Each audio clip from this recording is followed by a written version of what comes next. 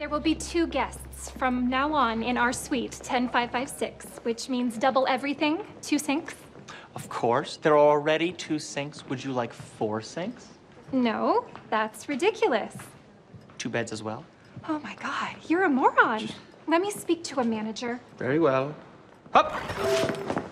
What seems to be the problem? I need to talk to Nora. Well, Horizen is saying she's on a leave of absence. I call and call, she doesn't pick up the phone. Oh, shit. That's not good. No, it is not good. Now I have all of her old clients on top of my own, including one extremely difficult Karen. Oh, there you are. Mm-hmm. Please adjust the temperature of our room to Mediterranean summer evening. Then lay out rose petals on the bed, but in the shape of a rose, not a heart. That's very important. Hello. Hi, hi, right here. Are you taking notes in there? Or... Got it. So a rose, extra thorns.